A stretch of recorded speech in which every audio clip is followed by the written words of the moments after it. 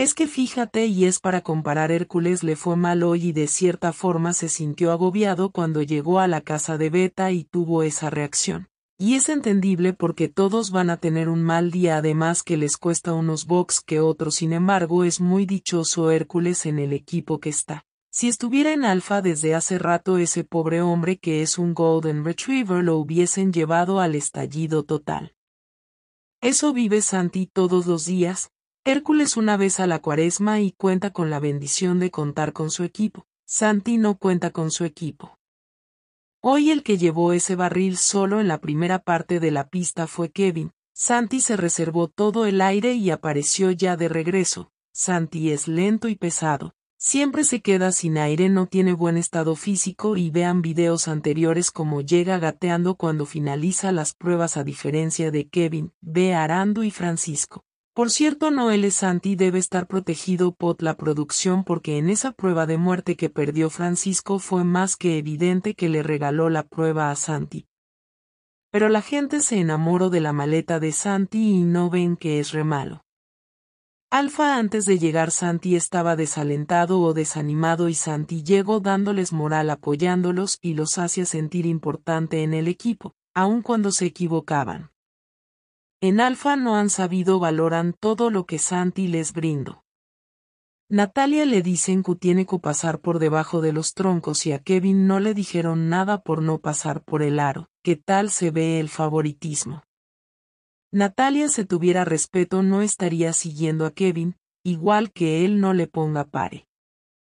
Aquí los dos se han equivocado, Kevin debe respeto a su pareja y Natalia se debe respeto a ella misma porque se hace ver que es fácil.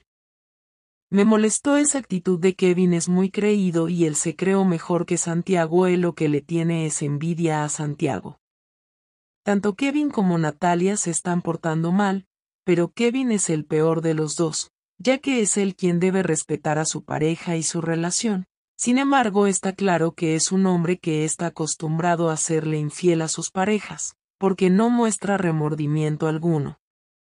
Al menos la moza, quiero decir Natalia mostró que le avergonzaba un poquito su comportamiento. Pero al final de cuenta ella no está relacionada de ningún modo con la novia de Kevin y pues por lo visto no es una mujer a quien tampoco le importe mucho ser la tercera en discordia. Porque en ese caso con solo saber que él tenía una relación habría mantenido la distancia.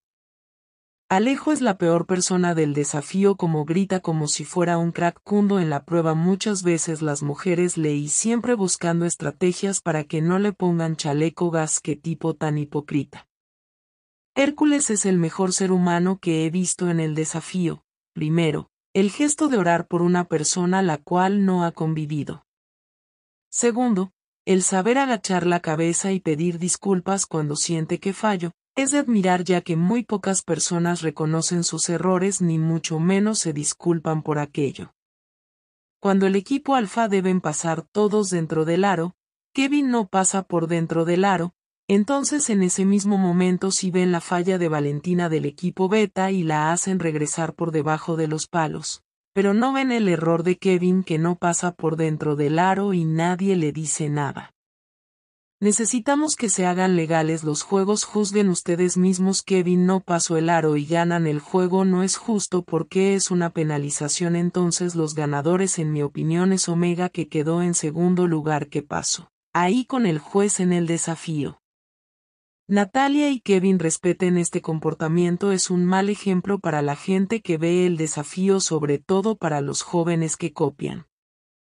El verdadero culpable es Kevin si le hubiese dado un paro como es esto no hubiese avanzado a él le gusta la vaina. Arando es un chico muy joven pero que madurez tiene, muy firme y centrado en lo que quiere tremendo ser humano.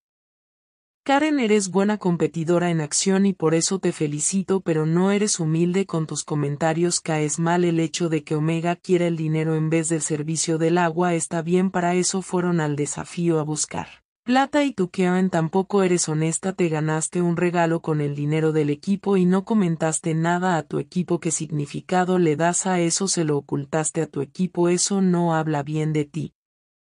Esos MLP de Alejo y Renzo no veo la hora en que salgan partidas de porquerías los dos. A Santi debe esforzarse más por ganar las pruebas. El asunto de amor es esa parte de Kevin. No metamos juegos con romances, sino eso se vuelve un desastre. Noto que muchos atacan a Natalia que por ofrecida y pues pese a que sí está fallando al meterse con alguien que sabe que tiene pareja realmente el que tiene la culpa y el que la está realmente embarrando es Kevin pues el desde un principio debió de parar a Natalia, pero si en vez de eso le das la puerta abierta para que ella siga ahí coqueteándole, pues realmente el que está fallando completamente es él y es por ese ego y arrogancia que se carga. No solo Natalia es culpable, yo no veo que Kevin esté molesto por esa situación. Todo lo contrario, le encanta, no está poniendo límites. Es más, eso ni le importa. Kevin el de equipo alfa hizo trampa cuando pasó el tanque por el aro, él no pasó por el aro. Pero la verdad es que Kevin no pasó el aro. Ahí el desafío no dice nada. Qué mal porque con Marlon ni tuvieron piedad. El juez no se dio cuenta que Kevin no cruzó por el aro y a Valentina sí la hicieron pasar por debajo de los troncos. Todos hablando de Natalia que Avencianti y nadie se dio cuenta que el primero círculos no pasó por dentro y el juez no le dijo nada. Ese Kratos no sirve para nada más hacen las mujeres Luisa fue la que se echó el equipo al hombro deben de mandarlo al box blanco él si va en caballito así diga Omega que no. El Alejo y el Renzo mostrando los víboras que son planeando colocarle el chaleco a los compañeros.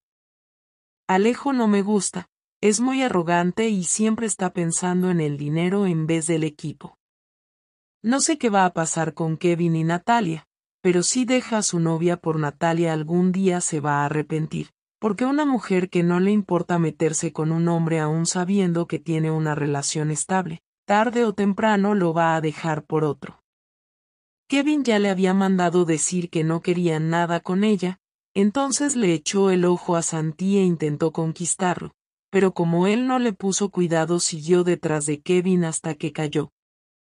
Y lo peor de todo es que Kevin no tiene carácter para frenar eso, y prefiere seguirle el juego. Natalia y Anamar fueron a conseguir marido, y no a competir, cuando afuera hay muchas mujeres que hubieran querido tener esa oportunidad para aprovecharla de verdad. En fin, se siente feo ponerse en el lugar de la persona engañada y da coraje que un hombre no tenga pantalones para frenar un acoso tan evidente como el que Natalia hacia Kevin que le importó poco que la hubiera rechazado desde el comienzo. Por ahí hay un dicho que dice que lo que empieza mal, termina mal. Nuestro video de desafío terminó aquí. No olvides suscribirte a mi canal. Nos vemos en los próximos videos. Adiós.